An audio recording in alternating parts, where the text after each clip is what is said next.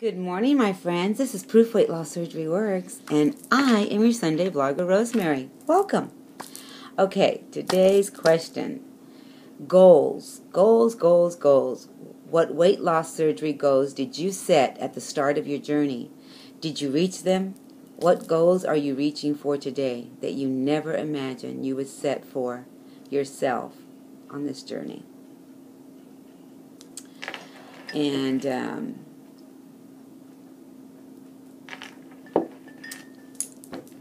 I still have goals. I mean, I don't think when you begin this journey, there's a uh,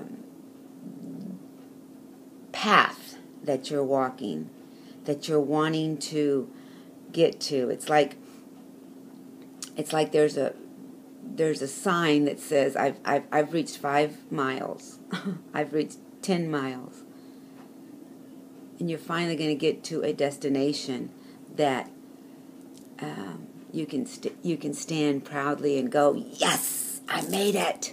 I made it!" and mine were full of dreams because my goals were were to be right here where I'm at. I've reached them. I've reached, but I'm not done. And I found a few quotes that I, you know, I'm a quote girl, you know that. If you know my videos, you know that. And so I want to read a few and explain what I mean with those. In the first one that I'm going to read, it says this. And I don't know the every I don't know who wrote all of them, so I'm just going to read the quotes. Nothing can stop the man with the right mental attitude from achieving his goal. Nothing on earth can help the man with the wrong mental attitude. With this, no matter where we begin, we're always going to have to have that mental attitude of I can achieve it. Even if the steps are small. Now, in my mind, I still vision the path, the path I'm walking. You know, I did get to five miles. Yes! I did get to 10 miles. Yes! There's still more to go. There'll always be more to walk. See what I'm saying? The next one says All successful people, men and women, are big dreamers. They imagine what their future could be, ideal in every respect, and then they work every day towards their distant vision, that goal or purpose. There was a time where I thought this was just a dream because I had started at such a large number. 487 to me was and I know there's people that out there that have been larger than me. I'm not trying to say that, whoa, I made it, you know, a big deal. uh, but it felt like it was unattainable. It felt like I wasn't going to get there, no matter how much I dreamed of it. And yet, my eyes and my mind and my determination was still going to get me there. You know, I still say, wow, I want more. I will always want more. I always want more. It's never going to change. And I don't want it to change. I want to strive for more. That is the biggest goal for me. Right now, that goal is continual you know, to want more. Even even though I'm nine years out. Whoops, my shirt's messed up. I don't know how you young people keep these shirts down, but it's supposed to be like this, but I don't know. uh, off the subject. Anyway, what would my video be without me getting off the subject, right? Okay, the next one says Desire is the key to motivation. But it's determination and commitment to an unrelenting pursuit of your goal. A commitment to excellence that will enable you to attain the success that you seek. You know, those three things to me is getting me to where I'm at, I am today and and and those dreams that came true for me are still coming true because of motivation, determination, and commitment. I am committed to my weight loss surgery tool. I am motivated every time I say I'm grateful for the legs that get me to jog and walk.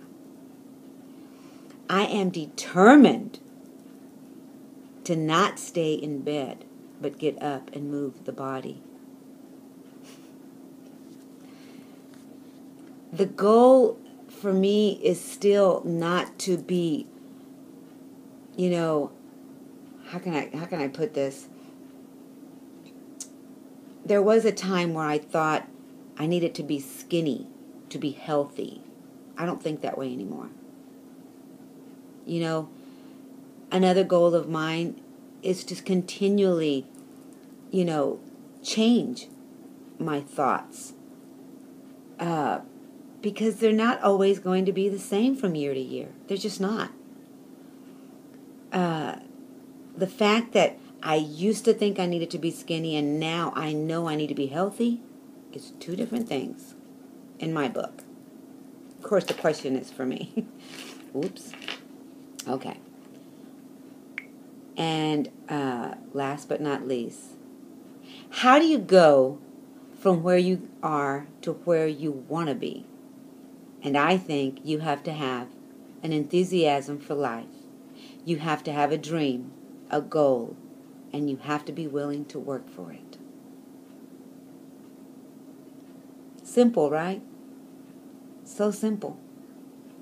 And yet, it can be a hard thing to do.